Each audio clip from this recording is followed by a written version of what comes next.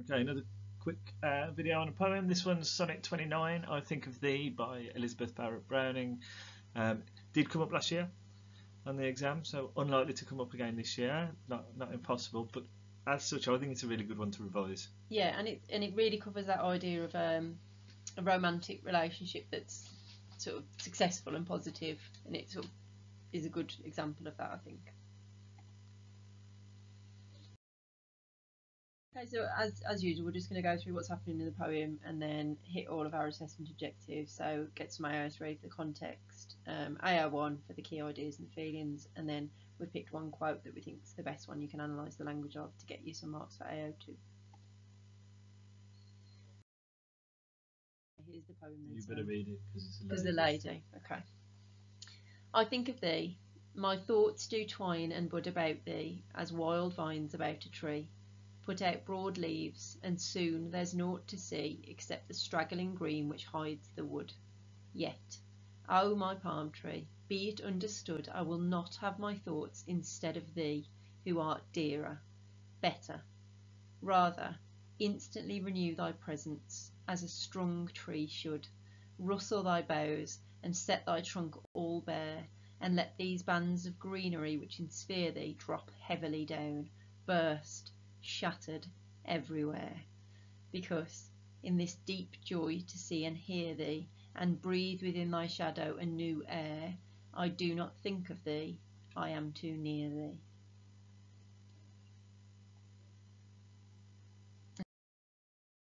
What's it about? So it's a, a new relationship, um, and she finds that she can't stop thinking about her partner. She worries that because all she's doing is thinking about him, that she's losing her sense of self um, and who she is as a person, that that's kind of getting all wrapped up in just her obsessive thoughts about him. She comes to the conclusion that the way that she'll fix that problem is that she'll be physically with him, and that way she won't just have to think about him, or she won't have to think about him because he'll physically be there. Um, it's a bit of a racy poem, isn't it? It's a bit, especially of the time. Yeah, so it's um, unconventional for she. She talks about, well, she suggests that she wants to have sex with him, which is definitely not what we expect of a woman in the Victorian era. I think she's allowed to get away with it because it's hidden through this extended metaphor, mm. um, and you can you can deny it, can't you, if you make a metaphor? Yeah, sexy tree. Uh, so she was uh, uh, an English poet, a romantic movement, but living in the Victorian age. Um, she wrote a, a, lot of love sonnets. Uh, all sonnets tend to be about love, but um, she did, she wrote 44 um, they became very popular. She was a successful writer. Um, she married Robert Browning, who wrote Porphyria's Lover, um, but she was really insecure about it. She she hadn't she didn't marry young at all. Her father was against it. She married late, and she was older than him, which really was unusual for Victorian times. Yeah, five or six years older. Yeah, and the man was supposed to be this sort of dominant, mm-hmm. uh, take the dominant role. And she wrote the poem for him and didn't expect it to be published. So this is sort of a, a cheeky little message to her fella. Yeah, it's sort of private, isn't it?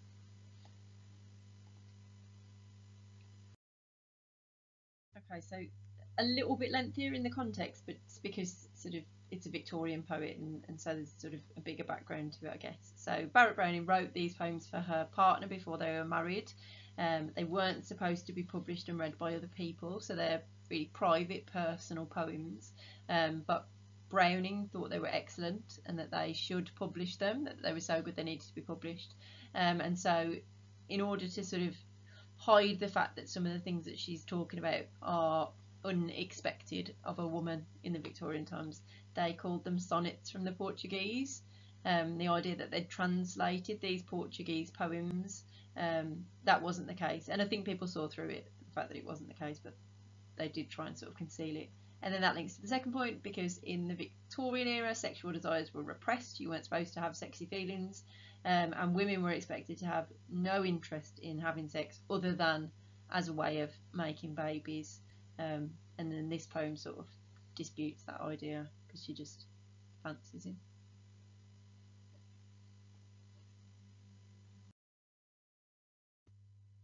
Yeah, so we look at uh, some AO1 So it's this, as as you've just said, she fancied him, but it's overwhelming. It's it's sort of um, all she can think about. It's all encompassing. She says, "My thoughts do twine and bud about thee, um, and soon there's naught to see. Like her thoughts about him are just just everything are becoming over over overwhelming. Like it says on the thing." Um, I think there's a sense that she's successful, um, a successful writer, and an older woman, and now she's just obsessively thinking about this person, and, and I think her sense of identity would be quite strong because she's older and successful in her own right, and and therefore there's a she's overwhelmed by her feelings, but also a frustration, the fact that all she's doing is thinking about him. it's like a surprise that it's, Yeah. it's crept up on her. Yeah.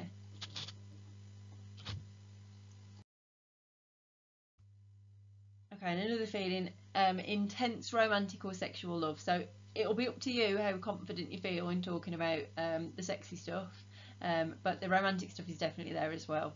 Um, so renew thy presence as a strong tree. Should this idea that she wants him back with her, this intense feeling that she has that she wants to be with him, this idea, you know, with the extended metaphor of the tree, that he's this strong tree, like really hyper masculine, and that she really sort of wants to be with him.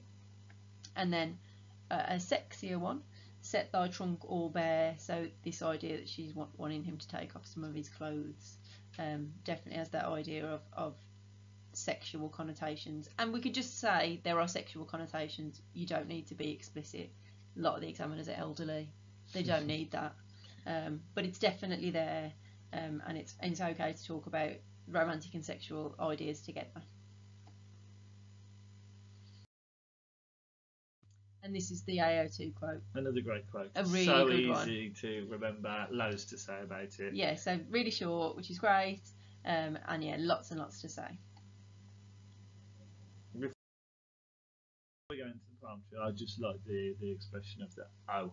Mm, Oh, like it's, unexpected. uh, Yeah, like she can't even vocalise what she's thinking. It's, it's just that sort of noise of passion. nice. Okay. so there's the possessive pronoun my, um, which I think is a is a proud feeling. This idea that you know she's she's got to quite late. I feel I, I'm struggling to say that she's late in her life, which is 38, but she's a little bit older, um, and she's sort of proud of this this man that she's she's desperately in love with, and, and it's reciprocated, and there's a sense that of that sort of pride, I think, in that in that pronoun. Fits into the extended metaphor of the tree that goes all the way through, sort of takes that idea that, that, that does start right at the very beginning with the thoughts twining and budding and, and goes all the way through the poem, and obviously this is part of that. It's an exotic, unusual. Palm trees are not native to Britain, where she's from.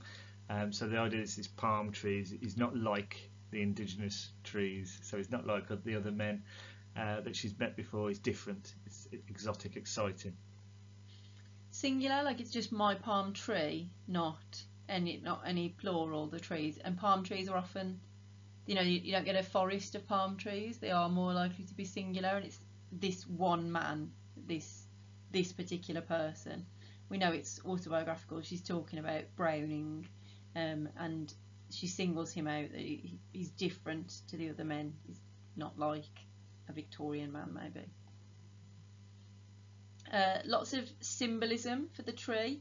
Um, so for Romans, it was a symbol of victory and triumph. If you'd won a battle, the uh, palm tree would, would be that symbol that you'd won.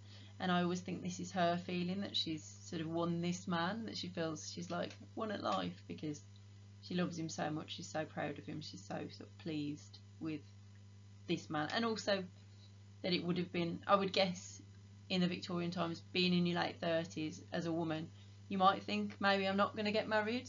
Mm-hmm. Maybe I'm not going to have that relationship.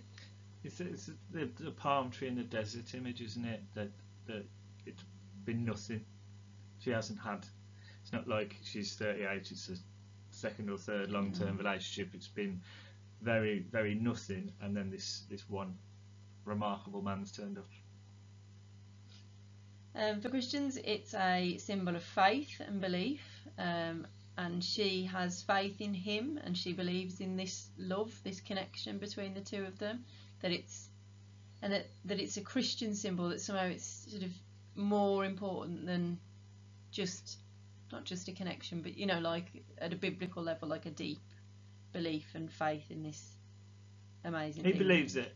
She believes in him. Yeah. She believes it. Like she's not deifying him as such, but No. she believes that he's the right one for Yeah. her. She believes in the power of their relationship. Shall I do this one? Do this song Okay, songs, so- yeah. In the Bible, Song of Songs it's one of the lesser known books of the Bible. This is your and another thing, or Mhm. additionally, this don't go, don't start with this on any paragraph, but it's your when you're thinking about how to develop your paragraphs. It's that extra bit of thing that you might want to add in. Your examiner might even need to Google it because in Mhm. Songs of Songs. Um, in the Bible, the palm tree is used to represent this sexual longing or sexual desire in a marriage. We haven't put the um, I'm not the, bit. the full, no. full no. quote. Um. Google it by all means if you want to. But it says you are tall and supple like the palm tree, and then it goes on to talk about physical attributes um, as part of a metaphor, which we won't. We don't need We to. don't need to, but it's there. It's there. and then lastly, the you last already thing, said yeah, it. it's, it's a tree that grows in a Yeah. desert. She's. It's that uh, her life has been just without feature, if you like. Um, without romantic feature. Yes, obviously she's been very successful personally, but when it comes to romance, she's just not met anyone like him, and it just makes him seem like it stands out even more.